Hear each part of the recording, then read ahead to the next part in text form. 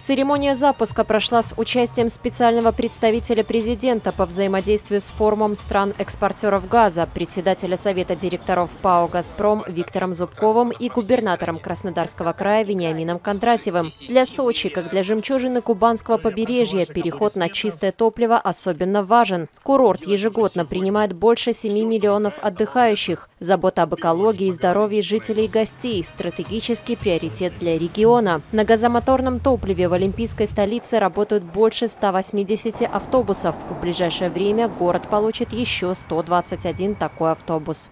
Сегодня мы говорим, что в Сочи уже 7,5 миллионов отдыхающих по итогам прошлого года отдохнули. Конечно, газомоторное топливо, невзирая даже на пробки, сохранит город экологичным. И сегодня это важно как никогда. При таком количестве отдыхающих местных жителей. Поэтому, конечно, для нас принципиально и стратегически важно, чтобы транспорт переходил на газомоторное топливо. Согласен, надо делать коридоры и на Геленджик, Новороссийск, Тамань, Анапу, Красную Поляну тоже. Там тоже отдыхающих. Ну, у нас сегодня много. уже мы говорим 4 газовые да, заправки. Четыре, да. да. Э, вот мэр Нет, Сочи... сейчас три, четвертая будет введена в этом году. И дальше мэр не собирается останавливаться, потому что, еще раз подчеркиваю, для нас это принципиальная составляющая, еще раз подчеркиваю, решения э, проблемы экологии, это, конечно, переход транспорта, и не только общественного, и не только коммунального, но и в целом транспорта, в том числе, конечно, и такси, в Сочи очень много, на газомоторное топливо.